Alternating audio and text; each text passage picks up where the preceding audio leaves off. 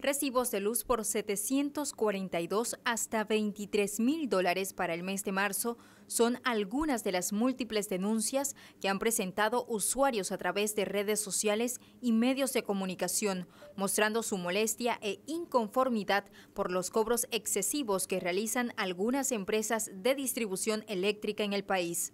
Lo único que está prendido en este lugar, en mi apartamento, es la refrigeradora y yo asumo que la refrigeradora no me va a costar a mí 740 y pico de dólares al mes. Esto es un robo a mano armada. Esto es como meterme o meterte yo la mano en el bolsillo y sacarte dinero. Es un robo. El director de la Autoridad de Servicios Públicos, Armando Fuentes, señaló que se trata de un error en la facturación en los recibos. Hemos recibido muchas quejas eh, de parte de los usuarios con errores con aumentos que siente que son injustificados.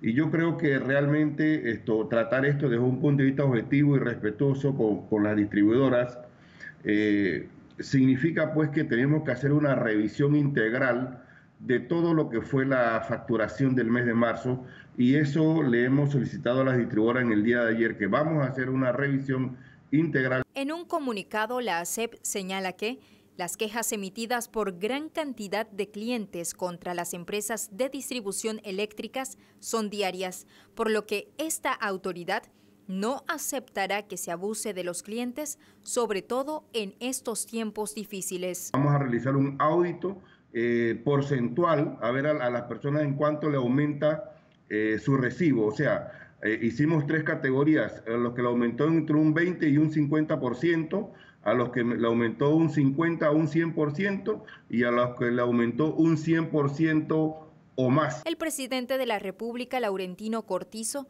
indicó en su cuenta de Twitter que dio instrucciones al administrador de la ASEP para que ordene a las distribuidoras la revisión de todas las facturas de energía eléctrica de marzo y esté muy pendiente de los próximos meses.